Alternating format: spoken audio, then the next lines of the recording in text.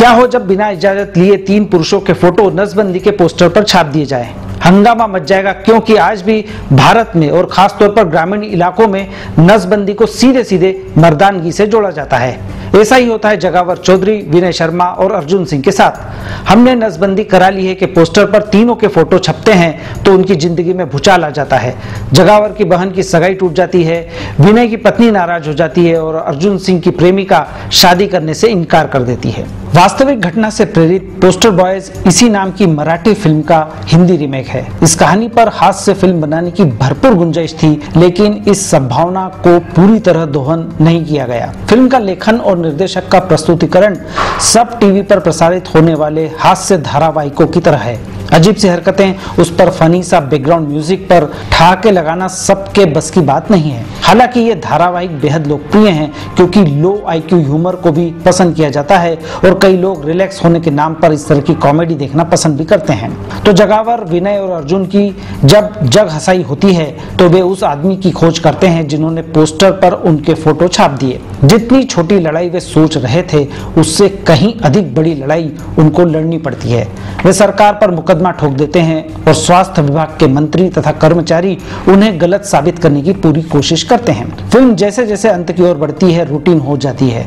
आंदोलन करना, social media का सहारा लेकर आम आदमी को अपनी लड़ाई में शामिल करना, वीडियो और फ़ोटो शेयर कर सरकार को नींद से जगाने वाला रास्ता कई फ़िल्मों में दोहराया जा चुका है और पोस्टर बॉयज़ के लेखकों ने बजाय कुछ नया सोचने के यही चिर परिचित अंदाज अपनी बात को खत्म करने के लिए चुना है। फ़िल्म का निर्देशन श्रेयस तलपदे ने किया है। उनकी सोच स्पष्ट नज़र आती है कि वे सरल और सीधी फ़िल्म बनाना चाहते थे और वैसा ही उन्होंने प्रस्तुतिकरण रखा है। जितनी निर्देशन की समझ थी, वैसा ही काम किया। कुछ अतिरिक्त करने का जोखिम नहीं उठाया। फ़िल्म की शुरुआत में तीनों लीड कैरेक्टर्स का एक एक कर परिचय कराया। उनकी कुछ खासियत दिखाई। सनी और बॉबी की इमेज का ध्यान रखते हुए उनके सीन रचे गए। जैसे बॉबी देओल के मोबाइल की रिंगटोन उनकी ही हिट फ़िल्म सोल्जर के गीत सोल्जर सोल्जर पर आधारित थी। एक दो बार तो ठीक लगती है, लेकिन जब बार बार दोहराया जाता है तो यह बात अपनी खासियत खो देती है। सनी देओल की गुस्सेल छवि को ध्यान में रखते हुए कुछ हास्य सीन रचे गए हैं। उनकी सेल्फी के प्रति जुनून वाले सीन ज़रूर हंसाते हैं। अच्छा होता कि एक बढ़िया सा फाइट सीन भी रखा जाता ताकि सनी के फैंस की खुशी और बढ़ जाती।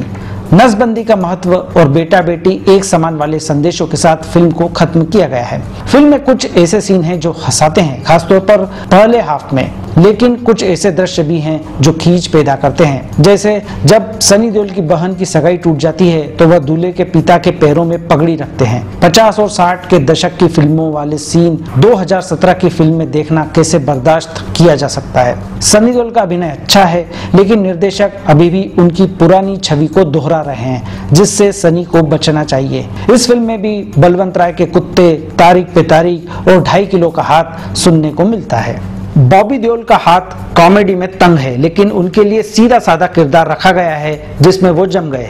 श्रेयस तलपदे का अभिनय ठीक ठाक है, और सनी बॉबी के बराबर फुटेज उन्होंने अपने आप को भी दिए हैं। हीरोइनों में समीक्षा भटनागर का काम बेहतर है।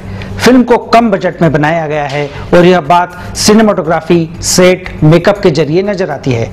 कुल मिलाकर पोस्टर बॉयज़ एक औसत फ़िल्म है। इस फ़िल्म को मैं पाँच में से दो स्टार देता हूँ।